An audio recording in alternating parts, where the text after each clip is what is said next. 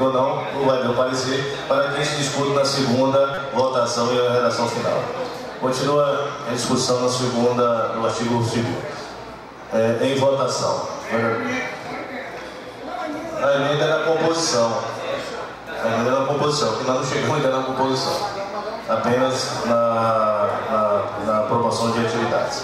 Em votação, o artigo 2 e seus incisos. Vereadores que aprovam, permaneçam como estão. Aprovado por três votos, quatro votos contrários.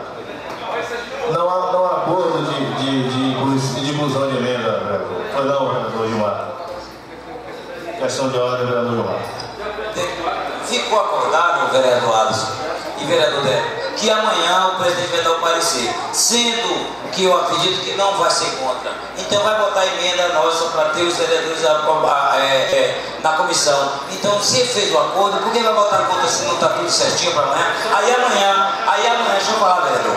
Aí amanhã, não, mas é no, no, no global, que não vão mais um acordo com a gente de botar tudo contra e na hora só ter nós vamos, eu sei, aí só vai estar falando do artigo terceiro. Não existe isso também, Rolando. Você tem que votar, votar, a favor do global. Se você quer um acordo, tem que fazer um acordo no, no, no total, não é só numa parte que lhe interessa. Então, é, vou botar em votação agora amanhã. Se não se proibir, a gente vota contra na redação final e na votação. Você entendeu o que eu quero dizer, vereador Cosme? E amanhã a gente votaria contra. Mas esse acordo eu tenho que ouvir do líder Isso, de governo. amanhã. Líder de governo. Não, mas presidente, esse projeto ele não tem segunda votação não. Né? Como é? Ele é votação única e redação final. É, não, redação final ele, ele, ele, ele é, é votação única. O Cosme, a redação votação. É votação única. Porque o pedido de urgência, pedido de urgência é votação única. Artigo 3 o CMDRPS tem fórum e sede no município de Ilhéus. Artigo 3 senhor presidente. Em discussão, o artigo 3 Em votação. Vereadores que aprovam, permaneçam como estão. Aprovado. O artigo 4 o mandato dos membros do CMDR, do CMDRPS será de dois anos e será exercido sem ônus para os cofres públicos, sendo considerado serviço relevante prestado ao município. Será permitida uma única reeleição dos seus membros, não se admitido prorrogação de mandato. Em discussão, vereador Paulo. Tem que entender, eu não consigo entender como diz que vai, como vai ser o mandato de quem ninguém sabe qual a composição. Tem que ter primeiro a composição para depois dizer quando. Está entendendo? Então primeiro vamos ver a composição. Primeiro é a composição. Não, mas então tem que inverter, está errado. A redação aí é Ok. inadequada.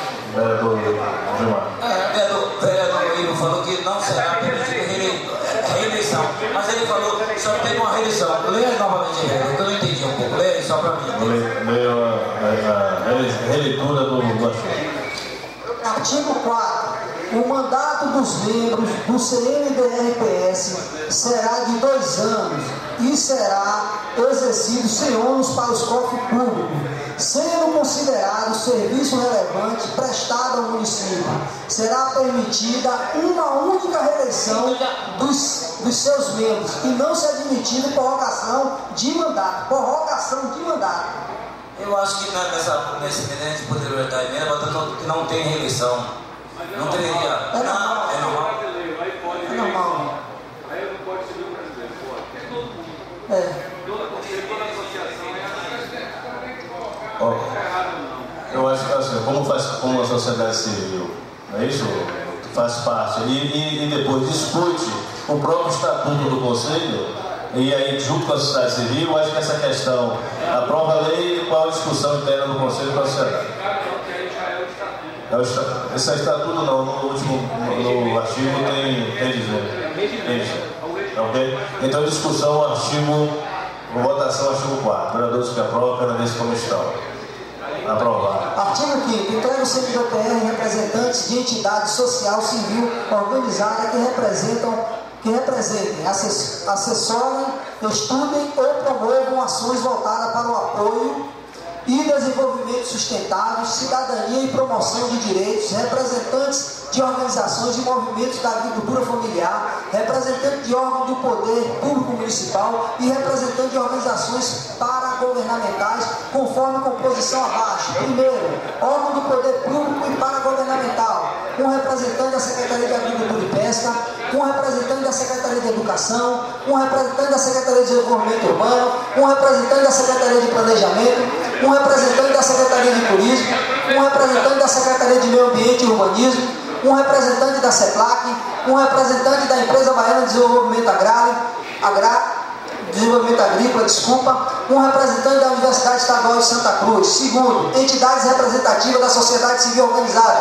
um representante do Sindicato dos Trabalhadores Rurais, um representante do Sindicato de Produtor Rural, um representante de cooperativa de produção agrícola ou pesqueira, um representante de agricultores familiares, um representante de assentamento rural, um representante de colônia de pescadores, um representante de associação de pescadores e marisqueiras, um representante de ONG sociamentalista que tem o seu estudo, estatuto, o desenvolvimento sustentável, e um, um representante de indígena Inciso primeiro, em virtude da predominância da característica rural do município e da representatividade da agricultura familiar, será garantida outra participação de membros representantes das dos agricultores familiares, trabalhadores, assalariados, rurais, agroextrativistas, pescadores, indígenas, assentados de reforma agrária e outras populações e comunidades tradicionais do campo, escolhidos e indicados por sua respectiva comunidade, associações, sindicatos e demais entidades representativas.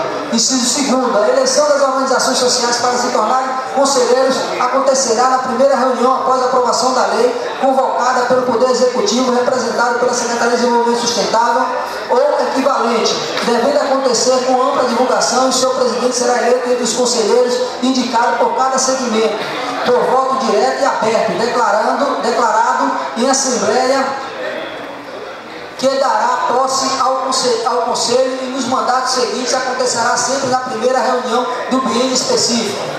Inciso terceiro, todos os conselheiros titulares e suplentes devem ser indicados formalmente em documento escrito pelas instituições e entidades que representam. A. Para conselheiros ou conselheiras, os suplentes indicados por entidade da sociedade civil organizada, órgãos públicos e organizações paragovernamentais, a indicação deverá ser feita em papel timbrado e assinado pelo responsável pela, pela respectiva instituição, sendo a indicação da instituição assinada por todos os, presentes concorrentes. Inciso 4. As indicações serão encaminhadas na, ao prefeito municipal para publicação através de decreto no, no prazo máximo de 30 dias após a eleição. Entendeu, Breno? Contemplado toda a cultura familiar. Em discussão o artigo 5 Vereador Rolando. Senhor presidente, é, nesse momento agora que foi lido a composição do Conselho, eu queria propor é, uma emenda aditiva nos seguintes moldes acrescentar na representação pública um membro do Ministério Público Federal, um membro, senhor presidente, senhor presidente, eu espero que eu possa pronunciar a minha, a minha emenda. Com a palavra o vereador. Ou Deus desceu aqui se pronunciar do que é possível e do que não é. Com a palavra, vereador. Um membro do Ministério Público Federal, porque isso envolve recursos vultuosos através de repasse do governo federal. Um membro do, do, do Ministério Público Estadual e três vereadores, três vereadores com representação nessa casa de maneira proporcional, como manda nosso regimento e as decisões judiciais anteriores. Essa é a emenda proposta para esse artigo, senhor presidente. Ok. Em discussão a emenda do vereador Rolando.